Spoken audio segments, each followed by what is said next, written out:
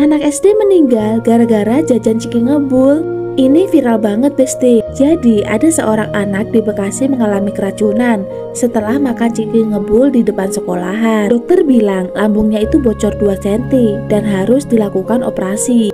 Parahnya lagi Besti, kasus ini tuh udah banyak memakan korban. Udah ada 28 korban anak karena ciki ngebul. Kalian tahu gak sih Besti penyebabnya? Di ciki ngebul itu mengandung nitrogen cair yang membuat beku dan mengeluarkan asap. Nah, nitrogen cairlah yang membuat bahaya jika dikonsumsi oleh manusia, terutama anak-anak nih. Soalnya Besti, kalian wajib tahu nih ya, nitrogen cair menyebabkan tenggorokan sakit, bahkan bisa merusak organ dalam kayak lambung dan usus. Hayo, siapa nih yang suka banget makan ciki ngebul? Mulai sekarang kurangi jajan ciki ngebul ya.